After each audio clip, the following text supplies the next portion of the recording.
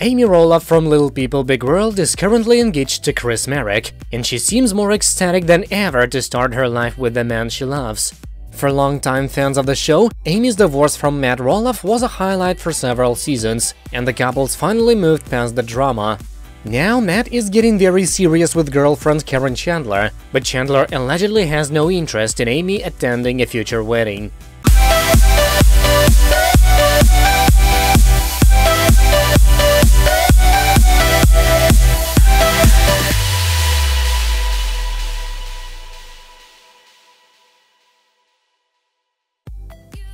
Caryn and Matt have been together for years, and their relationship has been quite controversial.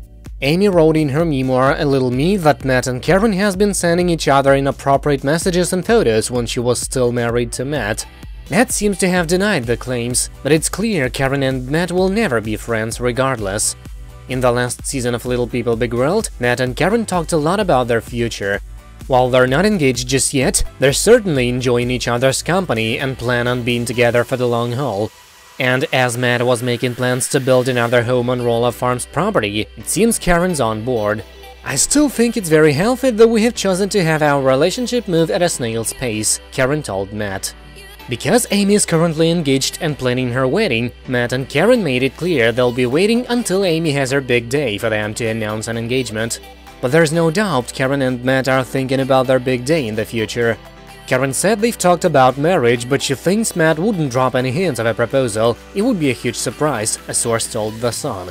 Caryn is the type to go with the flow, so she's not going to continuously talk about it, but she would absolutely say yes. While Amy may anticipate attending Matt and Caryn's future wedding, we're not so sure she'll get an invite. The wedding would be a huge family affair, but Amy would not be invited, the source continued. That's a big fat no. Caryn seriously dislikes her. The source added that the wedding between Matt and Caryn would be unforgettable and extravagant, though. Could the source be correct in assuming Amy won't get an invite to Matt and Caryn's wedding?